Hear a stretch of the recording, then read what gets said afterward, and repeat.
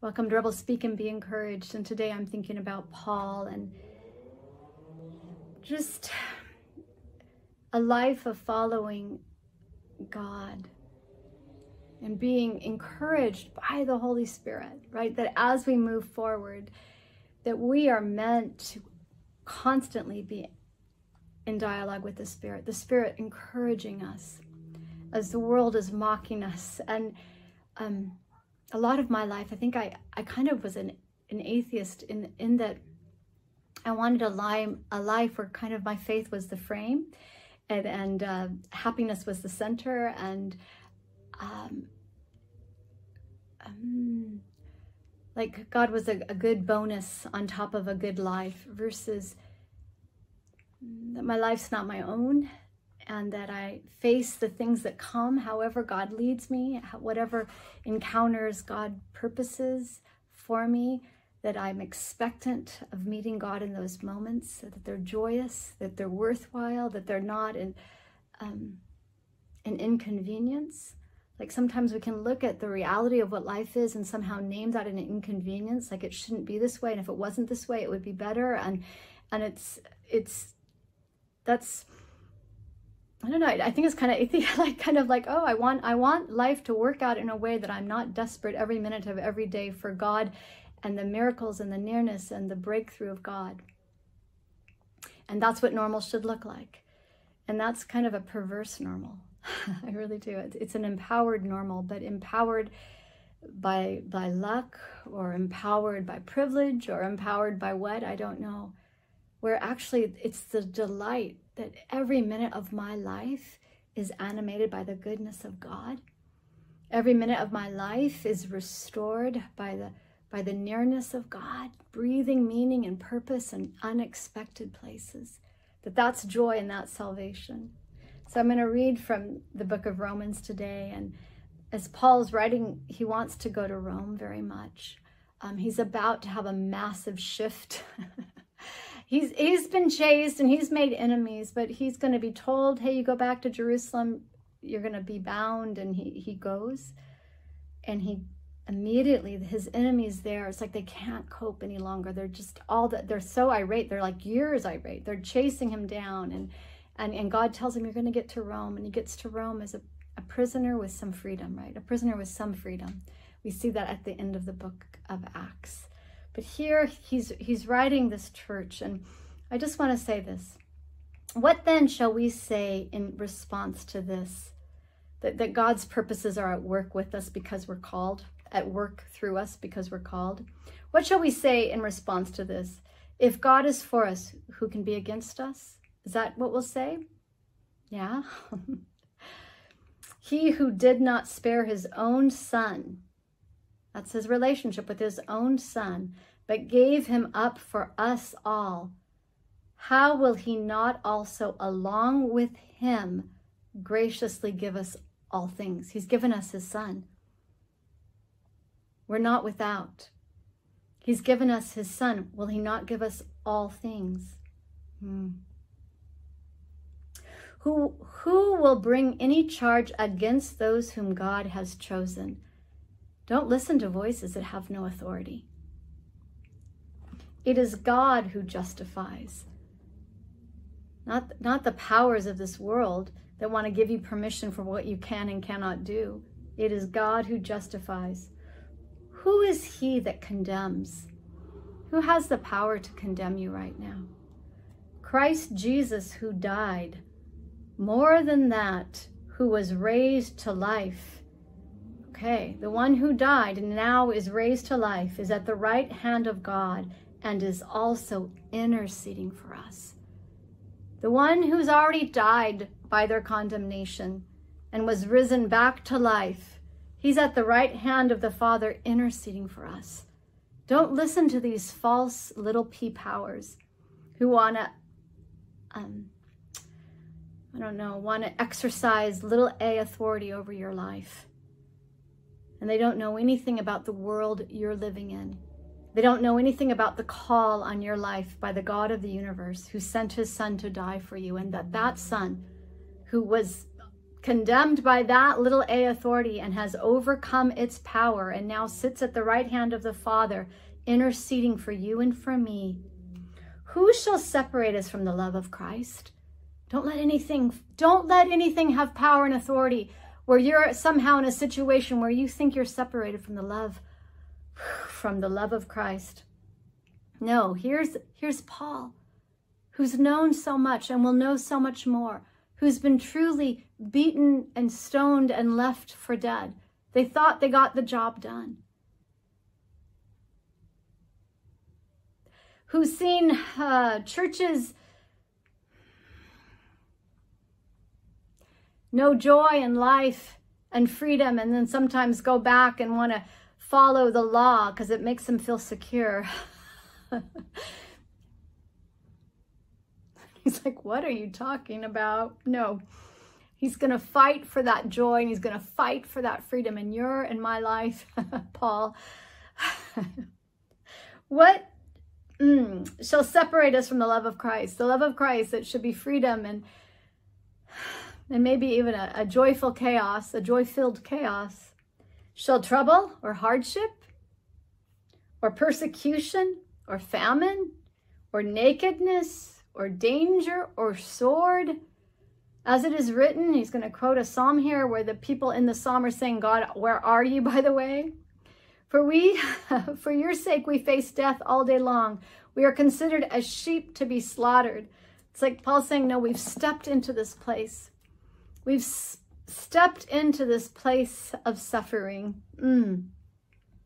We've stepped into this place of suffering. And now here is Paul's response No, in all these things, as we suffer in all these things, we are more than conquerors. We're not suffering for the sake of suffering. And we're not suffering for the sake of stoicism. We're not suffering for anything other than conquerors. Mm. In all these things, we are more than conquerors through him who loved us. It's in, it's in the love. It's in the presence.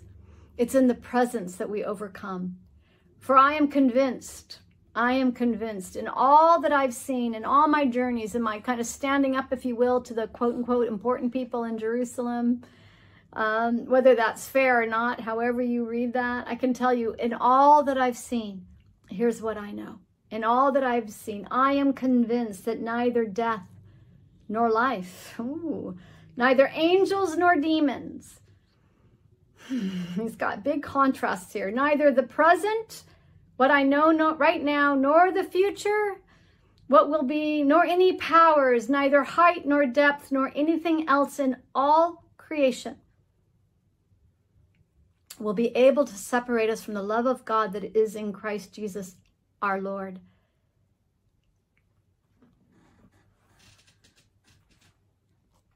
Whatever the chaos in your life right now, whatever circumstances are condemning you, maybe whatever circumstances are applauding you, whatever circumstances are making you feel good, whatever circumstances are making you feel bad whether there is loss,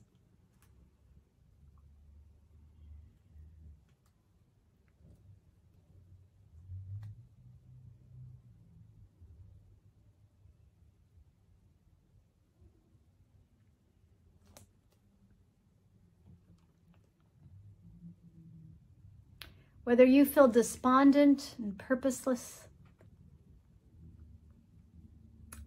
whether you feel at the height of your game and in complete control, prospering. Here's the thing the love of God is with you. The love of God, the love of God. Your successes are not to separate you from the love of God, and your losses, and the world's condemnation, and the world's underestimating of you.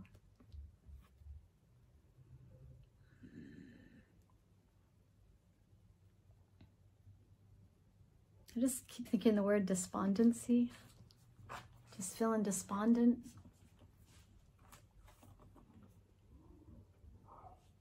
not sure your role, not sure your purpose, not sure your meaning, not sure what it's about. The love, the love of Jesus Christ that purchased, right? That he did, what does it mean he ascended, but that he descended? That love that's entered into all the darkness and all the shadows. It's meant to be palpably present. The love, I just want to say, just Christ, I speak the love of the presence, the love of compassion that is present to you. Whether you feel strong or feeble, whether you can see or you can't, you feel short sighted or like you've got eagle vision and you feel like you can see a long way off. You feel like there's walls coming down on you, you can't see at all. The reality of God is with you. His nearness and dearness are singing over you. That's not false. Maybe there's something that you're like, God, I, I want my life to be about great things. And you have an idea of great things. And I want to say to you that as you sing in the presence of God and you feel that love and you feel that nearness, I'm going to say that word existential. There's an existential reality of greatness that is timeless. There's that old song about the garden and the time we share as I tarry there, no other has ever known. That song's been in my mind a lot. I learned it when I was in Tennessee in, in high school there was a neighbor and that man his his life was complicated but he loved that song. And maybe i've shared it recently i don't know. But I, I, want to say tarry tarry in the presence of god till you feel that fullness of goodness that is truly near you that's never separated far from you. Tarry in that nearness and you can say i, I don't have time and i just want to say pull over and, and take 10 minutes park your car and worship Tarry in that nearness of love that speaks volumes of your worth and purpose, speaks volumes into the good that your life is, that that word of life, of goodness that was spoken at your creation, good is established. You are established in good, and good is established in you. And through the person of Jesus Christ, you can't be separated from that word of good that was spoken over your birth and life. And if the enemy is tormenting you and speaking some other word, just know that you can worship where you are right now. You can worship in the middle of any noise and any storm and know the love of God in this moment. And you're meant to live in that knowledge, not head knowledge. I say existential, experiential knowledge. You're meant to be fully vibrant, alive in the knowledge of the love of God, that no matter what else is being spoken, oh, your life is a wasted life. Oh, something in you, something of a diminishing word.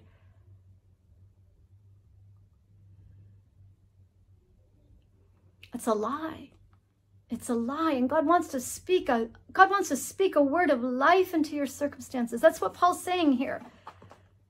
Don't you let any other word be spoken, no matter what's going on. Don't let that other reality name you. Because Christ died, that Christ alone can speak speak the name of love, the, the word of love, the presence of love into all the hostility. There, there might be so much hostility, and the enemy has just spoken this word. Oh, if God loved you, the circumstances of your life wouldn't look like that. And Christ's like, no, I, I've walked in and I'm turning on the light and I'm speaking love and laughter. I'm speaking love and laughter in any moment, in any moment. I've purchased the land of your life and I've purchased the land of your mind. I've, I've purchased it. I've, I've bought it. So I can, I can speak a different word. And, and we hear songs about that. We, we know that.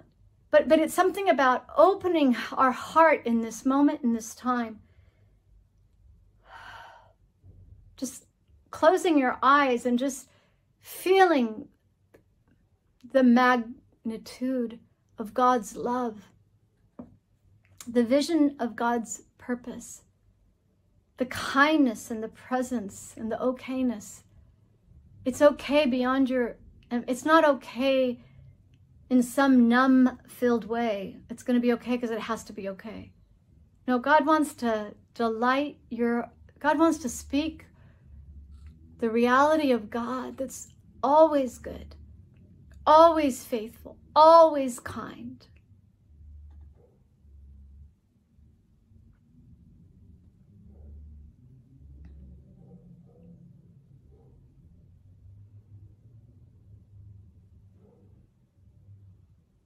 You are never alone.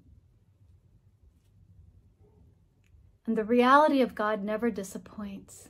And that's what Paul, in the midst of Paul's life, is saying. And, and he's going to go on to talk about how disappointed he is, how much what he wants for the nation of Israel. It, it this, Paul is very convoluted. I can never map him out.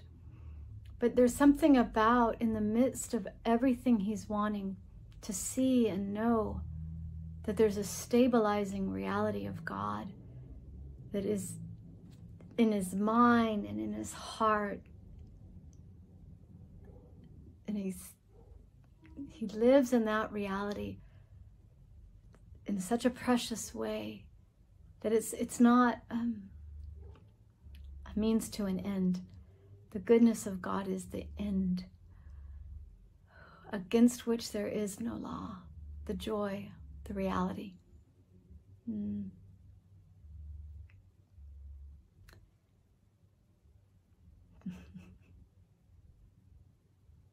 May the love of God be so powerfully rich in your mind and heart.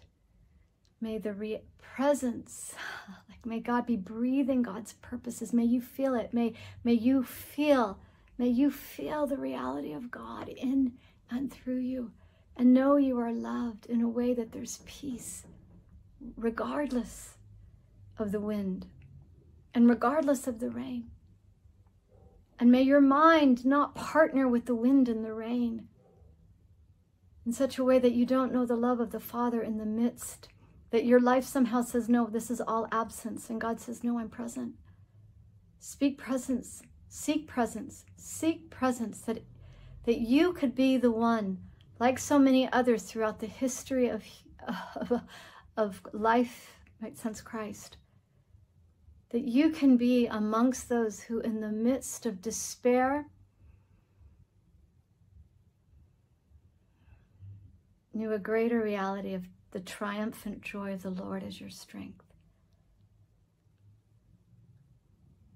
That grace, that grace be your name, that grace be your triumph, that grace be your joy, that your God be the God who inhabits your life and puts the wind and the rain to rest.